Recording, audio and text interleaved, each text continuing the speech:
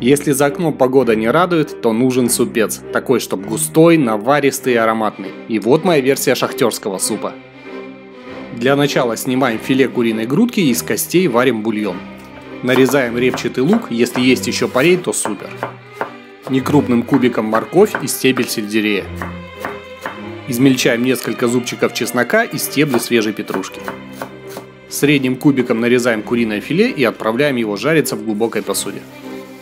Заряжаем лук и как он подзолотится, сельдерей и морковь. А минут 5 спустя чеснок и петрушку. Из пряностей паприка, куркума, кумин и хлопья чили.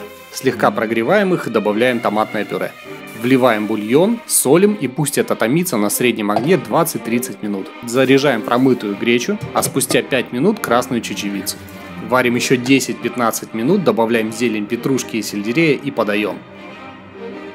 Домашняя еда может стать интересней, пробуй!